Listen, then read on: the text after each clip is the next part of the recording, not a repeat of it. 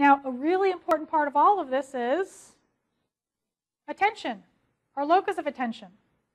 And what is the locus of attention? A feature or object in the physical world or an idea about which you are intently and actively thinking. I'll simplify it for you. It's what you're paying attention to.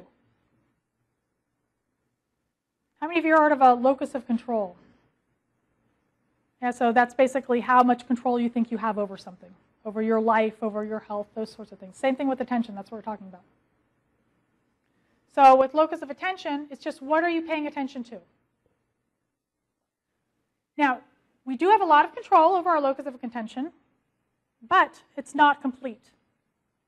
There are things that are going to suddenly draw our attention from other things, such as the example I gave where if you're sitting here intently paying attention to me because I'm such a fabulous professor and I'm so interesting, and someone goes in and slams the door, what has happened to your attention? It's now switched. But we didn't have control over that, but we can switch it back. We see in here much more than whatever happened, you know, what's going on in the world that we're not paying attention to, right? There's still a lot going on, but we're not always aware of everything else. Our perception and our memory is not like a camera or even, you know, a movie clip where we take all of that information in. Sometimes we will be so focused on something that we completely miss what's going on around us. We're able to tune things out. So I actually do this all the time. I'm walking down the hallway, thinking intently of something. A student walks by me, so, oh, hi, professor. I keep going. They come to my office hours later. What did I do? Why are you mad at me? What are you talking about? I said hi to you, and you had this look on your face. You completely ignored me. Oh, sorry.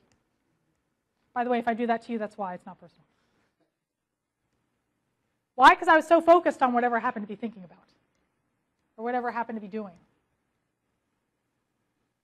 So we can tune things out.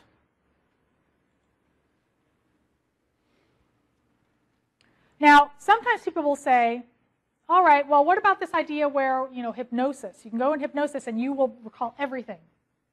Who thinks that's actually true? It's actually not. It's a really controversial area as to how much of it is true and, it, and isn't. And what you find in some of the controlled studies is that it's not an image, it's not a picture. And our perceptual memory actually doesn't last very long. It lasts even short, it's even shorter than short-term memory. Right? So it's an extremely brief period of time. So a great way to understand it is when we look, look at movie clips and we look at the frames per second. Are you guys familiar with that? All right, so when you are looking at a movie and you're watching this movie, it looks continuous to us, right? Is it actually continuous? It's not. You have frames.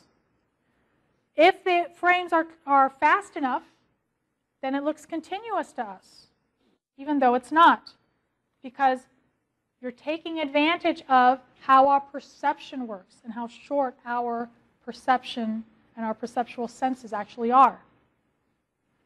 Now, if you make that frame rate too slow, do you start noticing? Yeah, you do.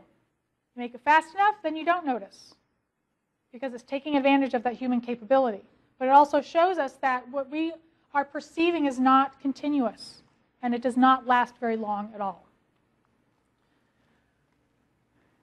As I mentioned, perceptions do not automatically become memories.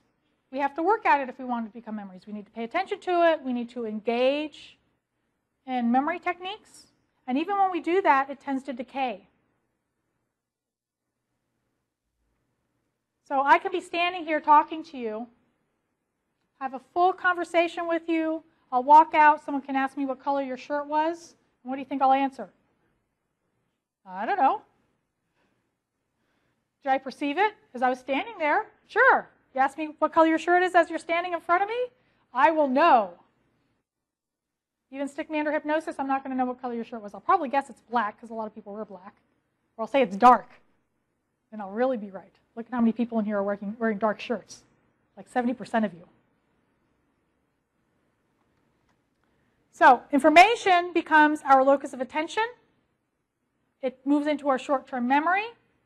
And if we keep focusing on it and we engage in memory, uh, memory techniques, then it becomes long-term memory.